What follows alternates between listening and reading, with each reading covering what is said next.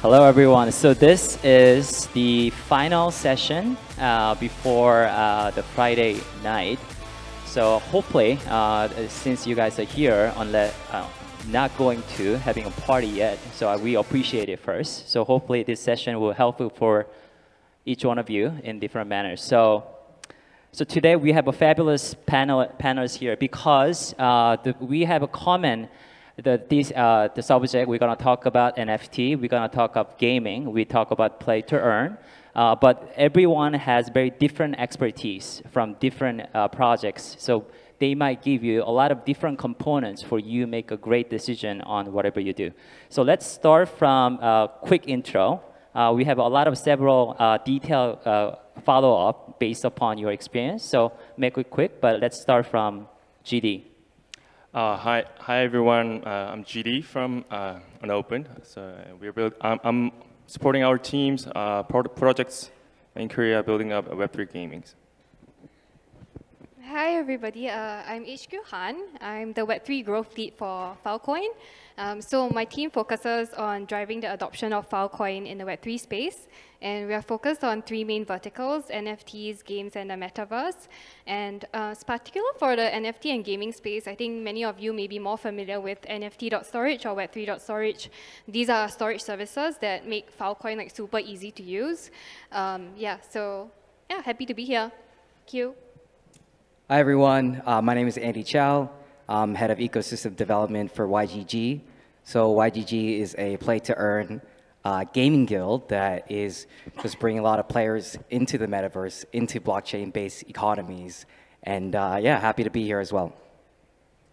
Yeah, I'm Matt Sorg. I head product and tech for the uh, Solana Foundation, which you can essentially think of as the ecosystem around uh, Solana. So the, the apps and the validators, RPCs, all those kind of tools. Um, and uh, yeah, uh, have a team that kind of help accelerate the ecosystem. Great. So maybe some of you guys uh, who are not familiar with each project here, so they might be a little confused. So what these guys are do with NFT. So let's uh, actually uh, before uh, handing over to these people. So if I put the one word, so GD is basically incubator for a lot of uh, crypto gaming projects, and HQ here is basically working on infrastructure that NFT gaming uh, projects are utilizing.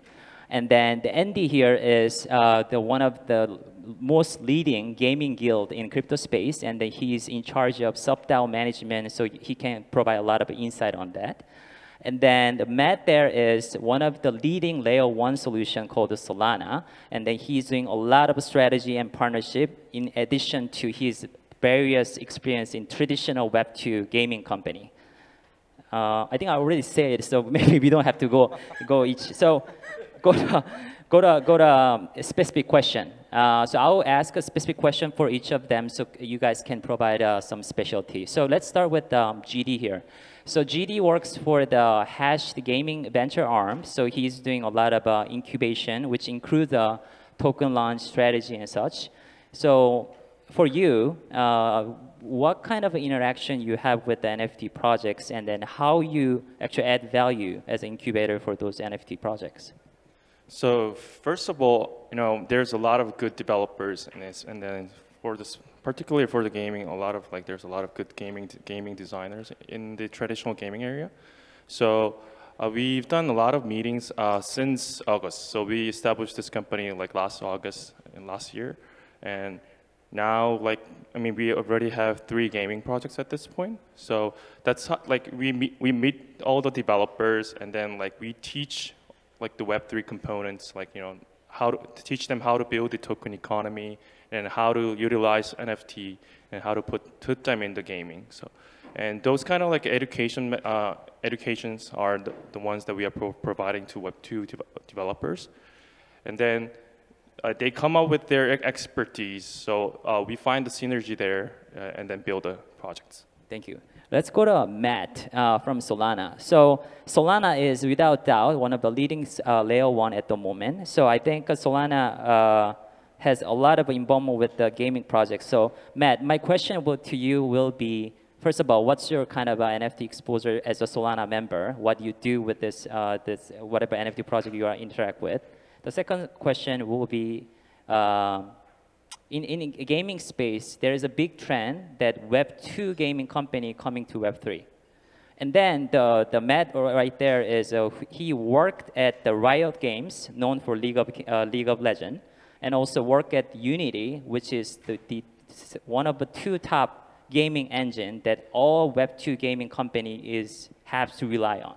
So my second question to you is, uh, what's your kind of uh, view as uh, someone who knows the traditional gaming world, and when you interact with the NFT projects that you wanted to partner with?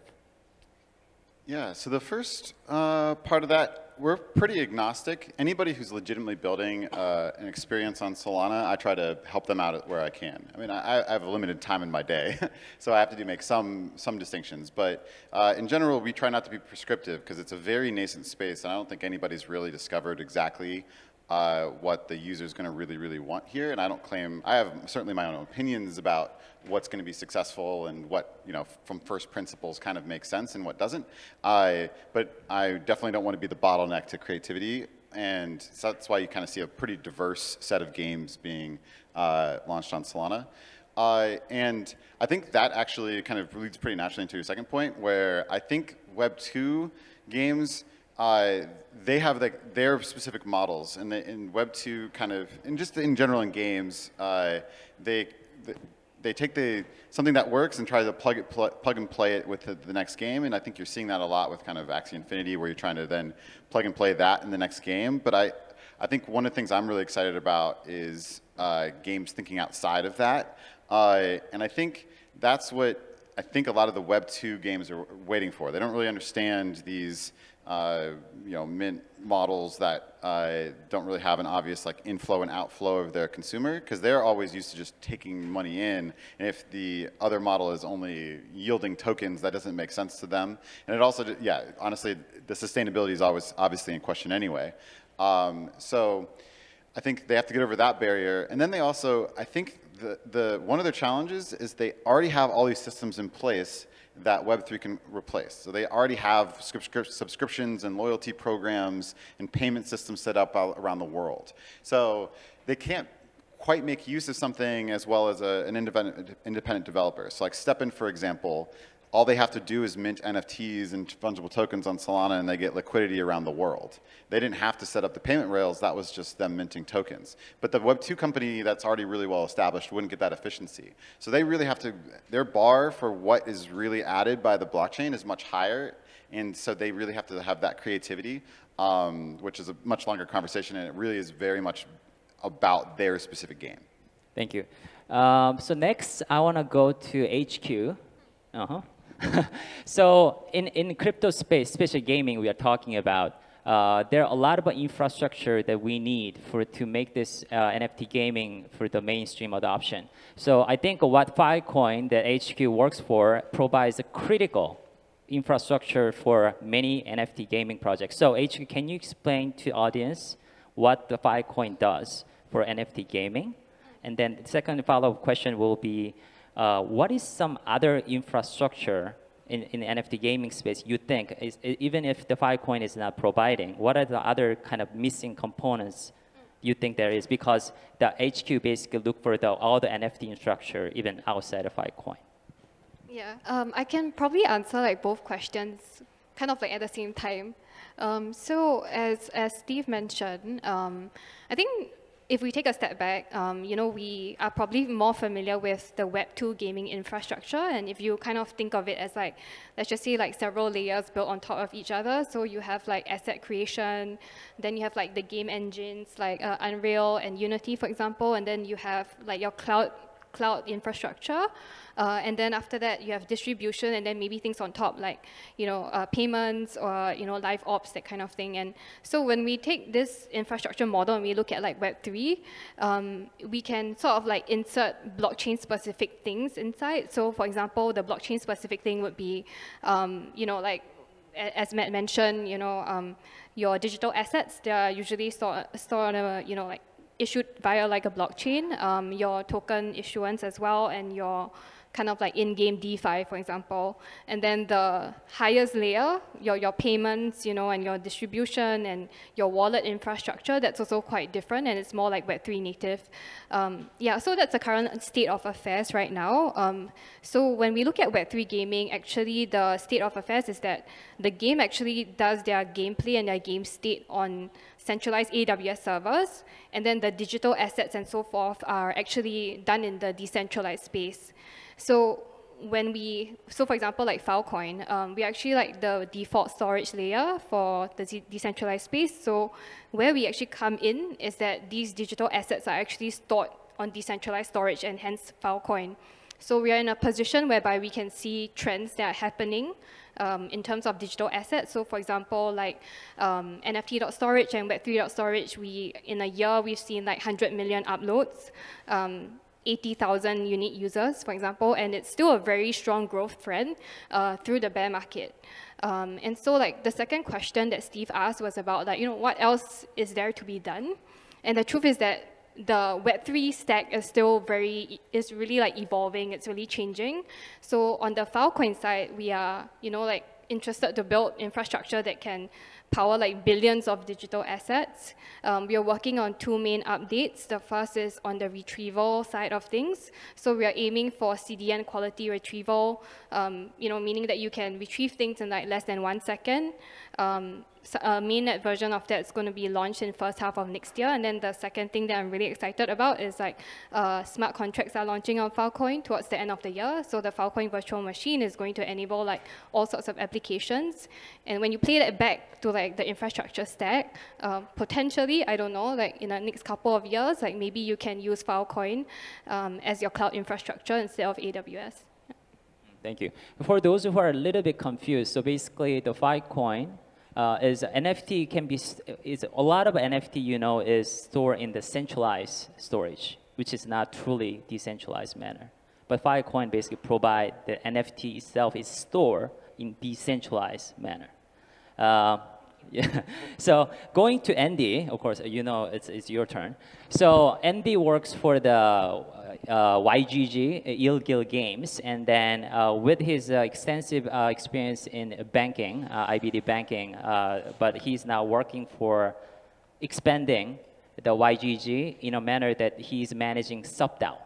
So my question here will be, first is more YG specific to, second is not. So first YG specific is, so what is meaning by sub DAO? To, to YGG. Second is, how do you, what do you mean by managing it? Because uh, DAO is always very invisible, especially even for me invisible, but I think for the non-crypto people even more invisible. So I think it's good to clarify a little bit. And then actually the real second question will be, oh, um, a lot is a more DAO question, because I think you should know more about DAO than I am. So a lot of skepticism on DAO. Uh, because it, there was some boom about DAO last year, but suddenly it's gone. So what's your view about the DAO in general? All right, I'll, i guess I'll start with the first, right? Uh, second one seems a bit more difficult.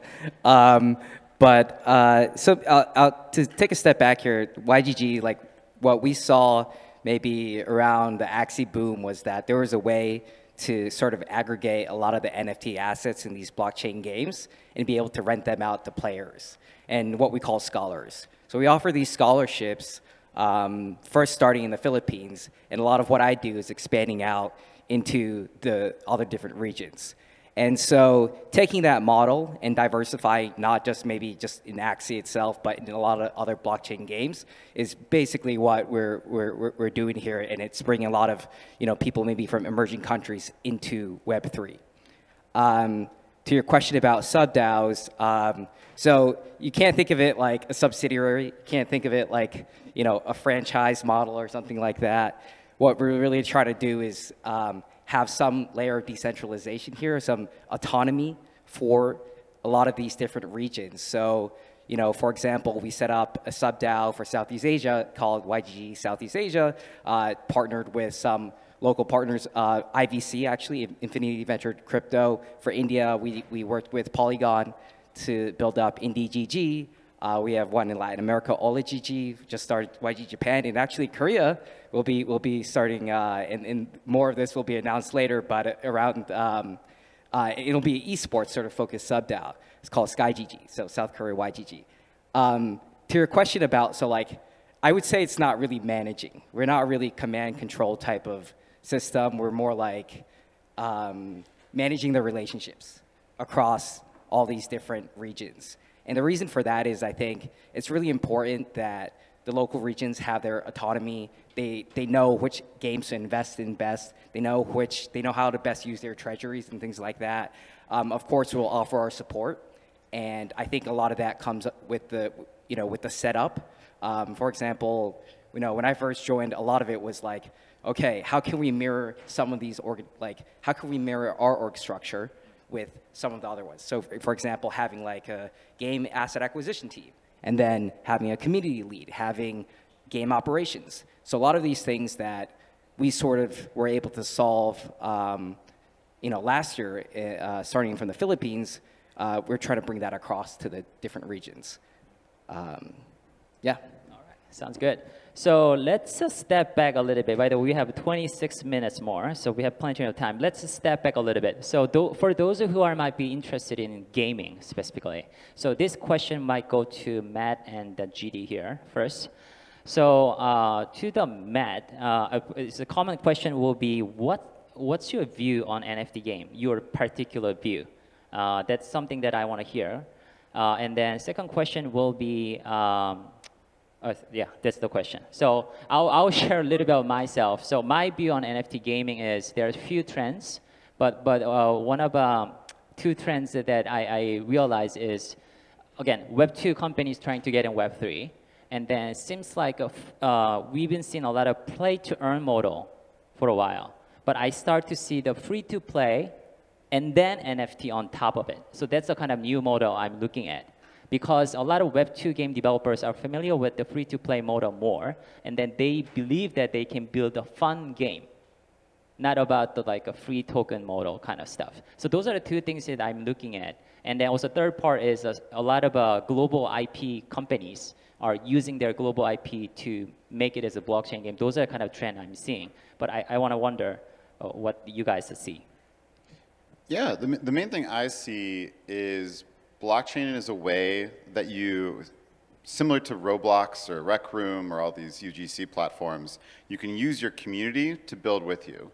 So especially on an ecosystem like Solana that scales uh, in a connected way, uh, if, I'm, if I mint my NFTs or you know, execute my strategy, whatever way it is, either upfront or through uh, earned in game, uh, all of a sudden my players have access to marketplaces, they have access to uh, renting, lending, community events, so I can, my, players can have uh, tournaments and they can have certified like what the reward is from the tournament. Maybe there's a buy-in for the tournament. Maybe it's just a fun event that somebody donates the, the reward, but that's actually an in-game item now. That's hard to do in Web 2. Uh, there's not the, the, or at the very least, the game would have to produce it itself in order for that to work in Web 2. Uh, and so you all of a sudden have all these things that your community can build with you in Web3 that the game maker doesn't have to specifically build themselves. And, the, and this is really powerful because the community itself is deciding what they found fun and where they want to put their, their you know, efforts and which tools in the ecosystem they want to they want to value. So that's like that's why I'm really excited about it because you're actually getting these ecosystems uh, effects. Um, and I think that's really what can be competitive with these closed ecosystems where the Web 2 teams are you know, controlling all the data and they, they're trying to harvest that as much as possible. Uh, and that is powerful. You know, you can, you can really craft experiences if you really understand your users to that level. Um, but the Web3 view is that if the, you know, there's some self-selection and there's all these other, you know, network effects, that can be even more powerful. And that's like kind of the bit of the battle I see.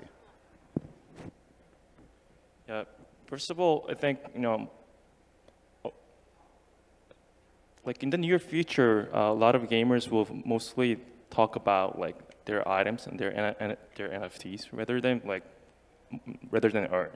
So I, I pretty much agree to Steve's point. Like you know, like, like six months ago we were excited about play to earn, but now it's more like it's gone, right?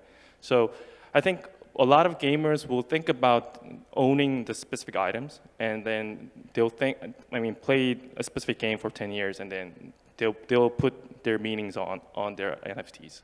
So game game companies they'll have to think about how to treat all their games, uh, and you know how how to treat their uh, gamers, and the, and then the second thing is that it's a commu- community. So when in, when it comes to the Web two gamings, uh, you know a lot of community a lot of gamers they shouted out shouted out to the game uh, to, to developers, but most of them were ignored. But NFT holders, token holders, like all the communities, they can they can shout out to the developers and and then, and then the games, and then they can even vote in the DAO. So it's gonna be told the scene the the scene's gonna be totally changed. And the third thing I, I the third point that I want to make is that the Web3 uh, gaming studios now have to compete with uh, the Web2, like the big IPs, uh, and then in terms of quality, and then the, in terms in, in, terms of a core value. So when when I'm saying core value here is is fun itself. So uh, it's gonna be uh, really interesting to see how new players coming in and then rise. And personally, I, I believe that in the next 10 years, uh, you'll see new names in the top 10 of gaming uh, industry. Okay, then this naturally goes, uh, I think, goes to Andy, because uh, Andy's YGG is largely portfolio is depends on play to earn model at the moment. But there is a some, you know, uh, the the model is being outdated. It should be renovated, uh, so innovated uh, there's some a lot of arguments. So my question to you is, what's your view on, you know, earn is getting weighing out, and what's the YGG seeing, or what YGG community is trying to innovate from classic play to earn to next level? And then to HQ's question, uh, HQ, I think HQ is in charge of ecosystem growth in Asia. So she's based in Singapore, and she's in charge of Asia expansion for U.S. company, uh, U.S. Western company, Filecoin. So my question to you is, what do you mean? Uh, what do you mean to you about ecosystem growth? How, what kind of thing that do you do to make the, your ecosystem, whether Filecoin or your project you're working with, or especially if it's a gaming project, that would be nicer, uh, NFT projects. Um, so let's go to Andy, who's thinking very hard. No, yeah, it's, a, it's a very it's a very good point, um, and I think that you know the model has gone from well, I guess play to earn is really quite new itself. We're really early in this space, right? And it's yet proven not. I mean, it's it's it was a lot of it was proven out last year, but you know how sustainable is that over time, right? And so I think that's that's been um, that's been like what we've been thinking a lot about at YGG, and maybe how that changes maybe from play to earn, but maybe from play to earn to play and earn. And so having more of a fun factor in in some of these games. Um, you know, when I started, like the vast majority of like us and our sub DAOs were playing Axie, right? But over time, we've diversified. Uh, if you combine all of us together, it's almost about 20 active games now. And so from there, and there's a lot more that we're getting into that still haven't launched yet. And from there, is there going to be a play and earn or more of a fun factor to these games? I think that's point number one. Point number two is there is going to be, I think, more and more uh, talk about not just play or, or play to earn or play whatever earn, but like X to earn, right? And so this is something that we're definitely looking at right now, which is like, you know, we've invested in this uh, company called Walken, and, and you know, this is a walk to earn. Uh, there's STEPN, obviously. There's other move to earn type of projects. There's sing to earn. There's learn to earn, uh, create to earn. And so we're like, a lot of this stuff is really quite new. And so I think you know, both from a fun factor and from like a X to earn type of standpoint. I think that's kind of where we're evolving to. Yeah. Excuse me, my question, if my question is a little uh, no, uh, kind it's of, uh, okay. okay. Yeah, yeah, I can deal with it. Yeah. Okay.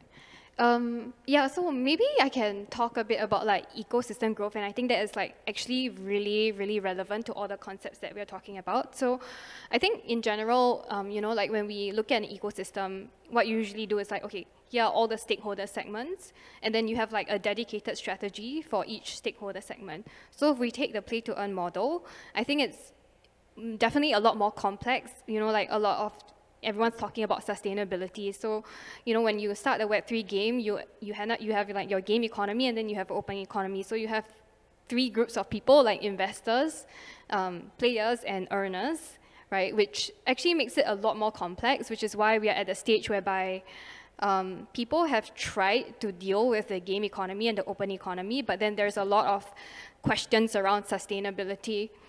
So, you know, going back to the first principles of ecosystem growth, it's just a lot more complex because you're dealing with three different kinds of stakeholders.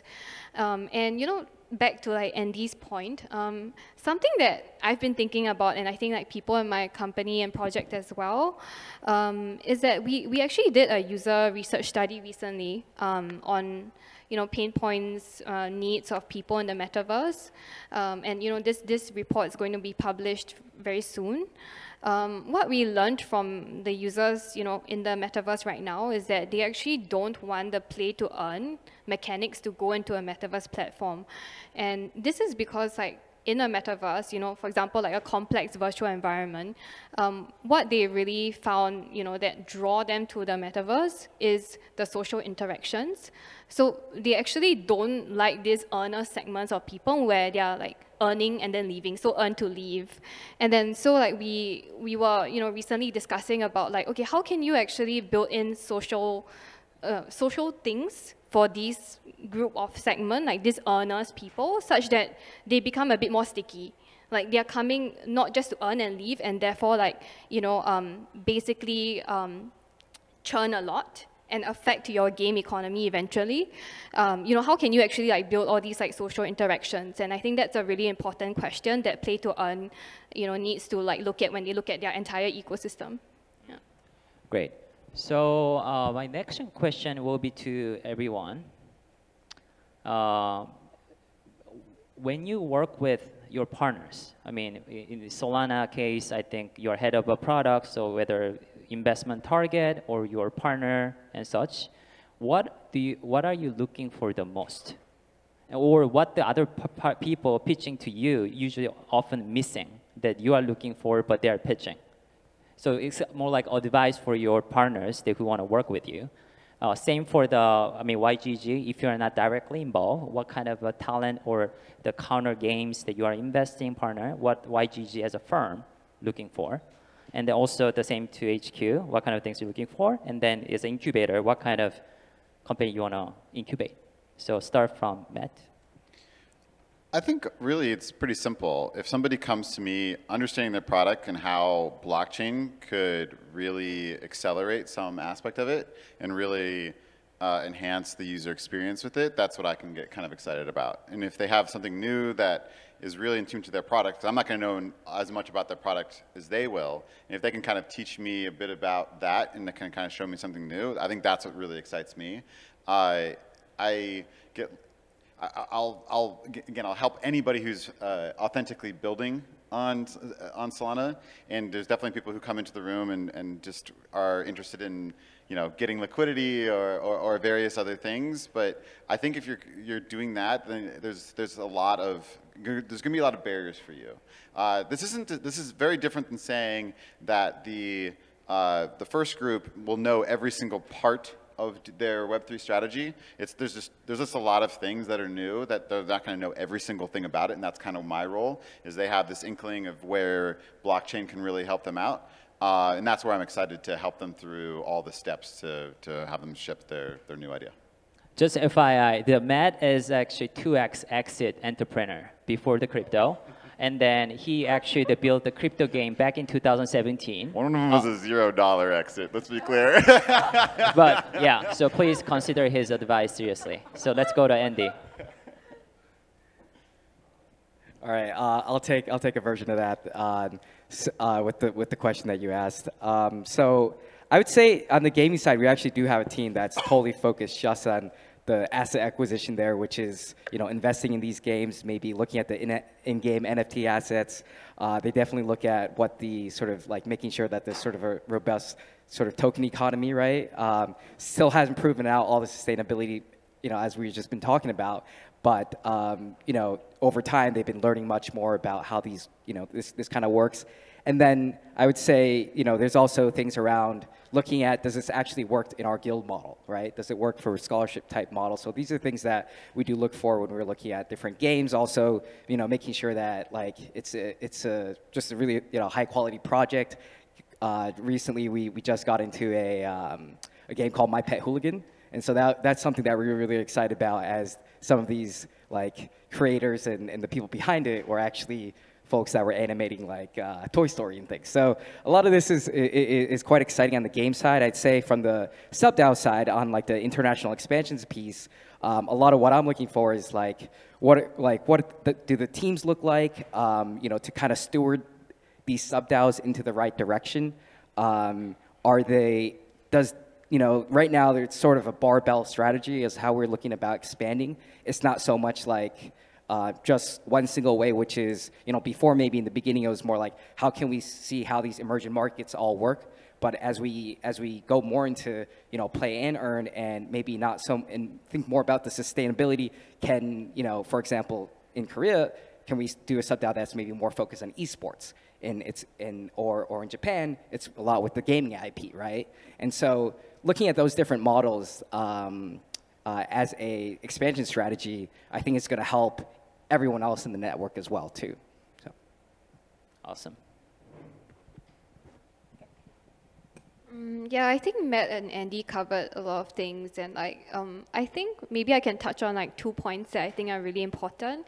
Um, given that we actually, you know, like mentor and put through the accelerator program several NFT gaming and metaverse projects every year, um, I think the first point is that maybe maybe all of you guys have heard it before, but I think that um, focusing on the user and solving like a really clear pain point is something that is like incredibly obvious, but it's not something that we see quite a lot given that is, you know, the space is very distracting. So I think that keeping in mind that like enduring companies in any industry, you know, they always have a very clear sense of the North Star and who, you know, who they're actually building for, what value they're trying to bring. So in the case of like, for example, play to earn, um, you know, like actually you should be building for the player and who is a player? A player is somebody that plays, you know, derives incredible satisfaction from a very strong gameplay. So I think that's really something that's really important. I think the second thing is around like creativity. So we actually seen I mean, we, you know, through through sort of like all the programs and hackathons that we run, we see a lot of NFT and gaming projects, and I will say that we are kind of at the cups of like exhausting and saturating the pipeline with collectibles and PFP kind of like NFT projects. So what really excites us these days are, you know, like the new kinds of like utility that you can do with NFTs. Um, I think there is like an emerging trend around like the phygital, physical and digital kind of like mix something like a digital twin that we are seeing in terms of like consumer goods. So for example, like what Nike did with RTFKT where you have a digital sneaker and then you can like forge it into real life and you can have like these two things so that your digital life and your physical life actually comes together and you can wear it in the digital world and like you can wear it in the physical world as well.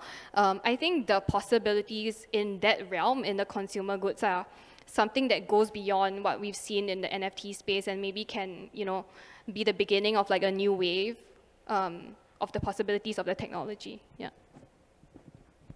Uh, from a developer or incubator's perspective, I mean, we really high, highly we highly value uh, the ones who actually developed and serviced a long-lasting game, because uh, MMORPGs, like you know, the long, uh, long-lasting MMORPGs, pretty much have similar eco economy as the metaverse economy that we are like mentioning in, in this space.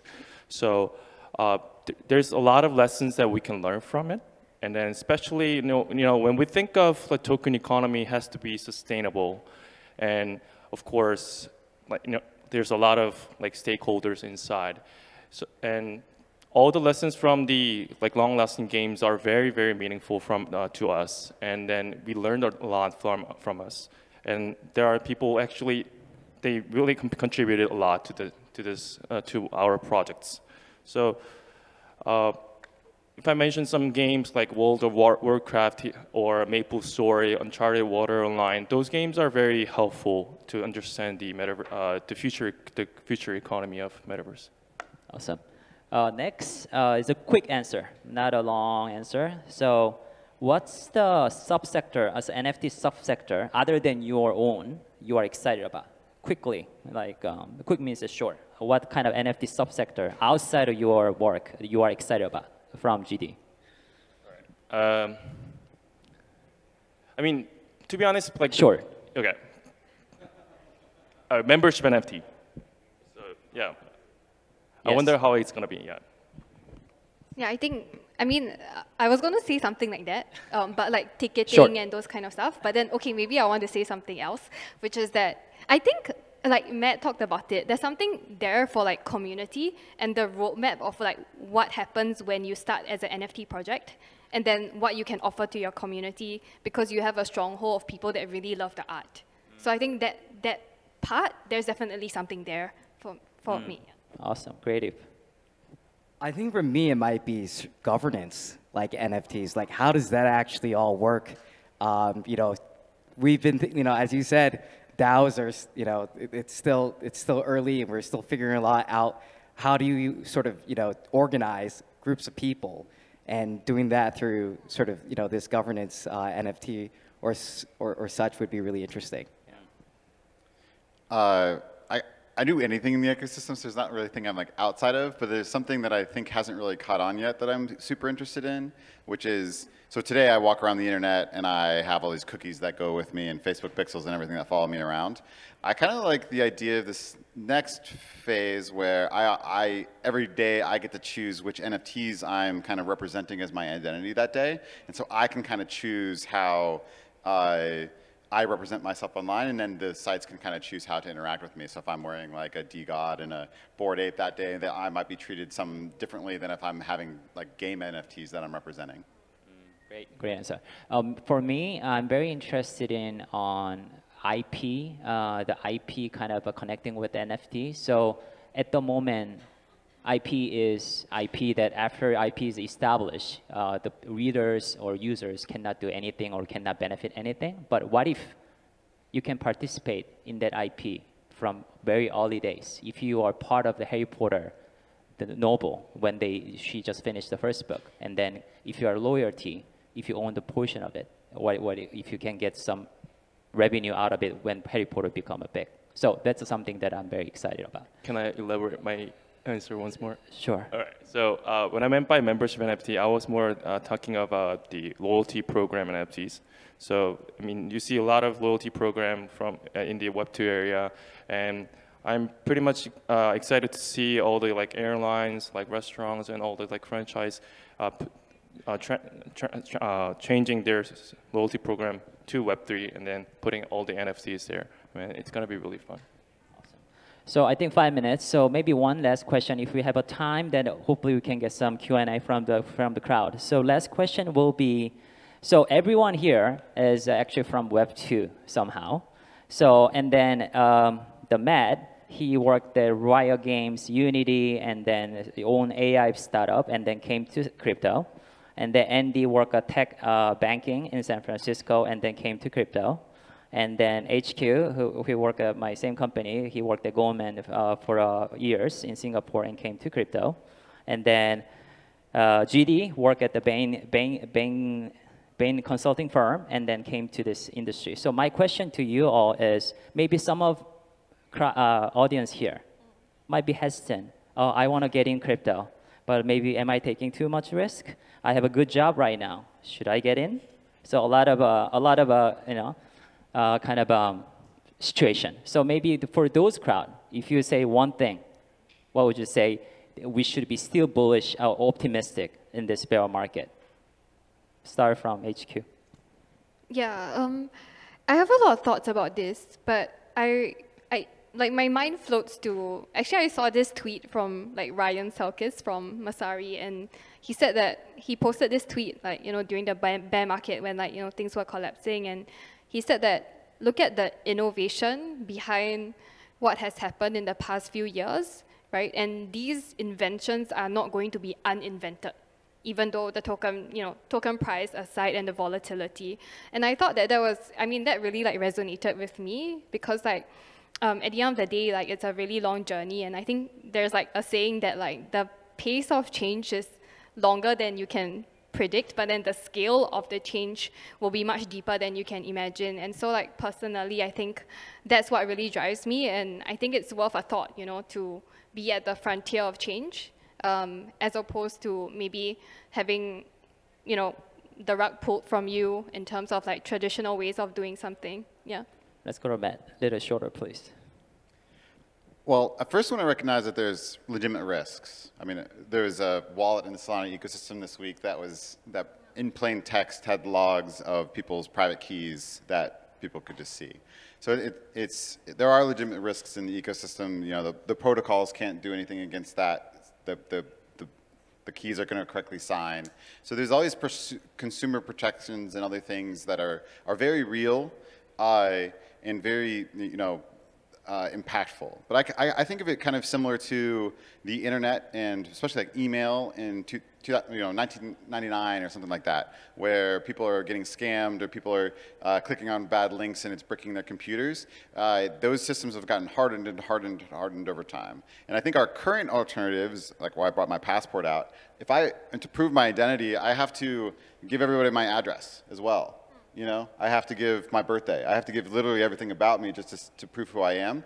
Uh, not literally everything, but you know, just way too much information for that. And that is the alternative we have today. And so I think as an industry, we have the opportunity to greatly improve that. So that opportunity is the reason to, to, to come in. Andy? Yeah, I'll keep this short. A couple, couple of points. One is, I think, talent. Uh, you know, I've moved from Web 2 to Web 3, and the number of people from Web 2 asking me about what's going on in Web 3 is just becoming more and more. So that's, that's been really interesting. Uh, two, I would say, um, you know, the world's just becoming more and more digital. Like having ownership in digital economies is just gonna, it's just sort of the way I think a lot of this is gonna move, and, it, and, and, and that's been sort of shown over the last, you know, couple years with the pandemic and lockdowns and things, right? So I really think that's that's gonna be super interesting. Uh, for me, it was mainly like you know to be on the forefront of something as opposed to having having seen you know more maybe more mature industries. Uh, it's just a lot more exciting for for myself. Yeah.